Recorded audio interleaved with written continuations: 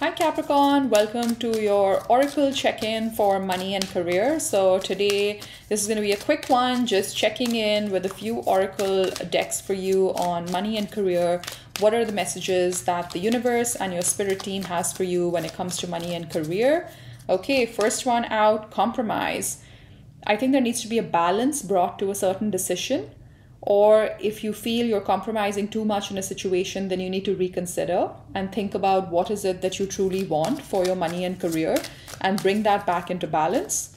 Ooh you have an opportunity. So just when you get clear on that there seems to be a golden opportunity coming in for you or it's already here but it maybe requires a little bit of a compromise but it can be a great opportunity for you capricorn.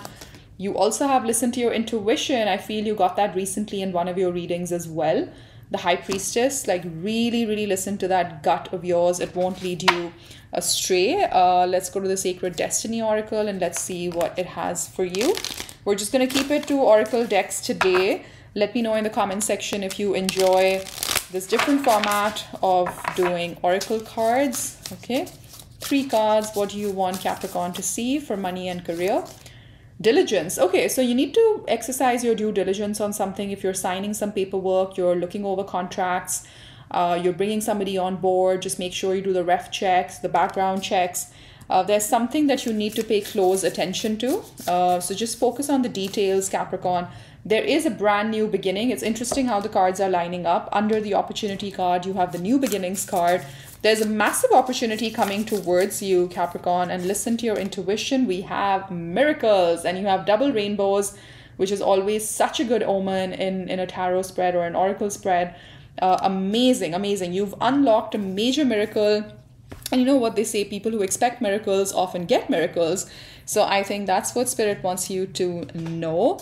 And I'm going to close off your reading with one more from the Animal Apothecary. What's your medicine for Capricorn? So this deck has cards that are supposed to be used as our medicine to cure anything that we're going through. Let's see.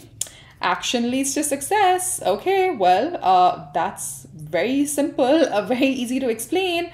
Doesn't even need an explanation. So get moving, Capricorn. You have an opportunity. Listen to your gut and then take that action, take that next step, and it's going to lead you to success. I'm going to leave it there, Capricorn. Hope you enjoyed this short read a quick check-in with the oracles and uh, let me know in the comment section how this connected with you hit that like button and subscribe to my channel take care bye bye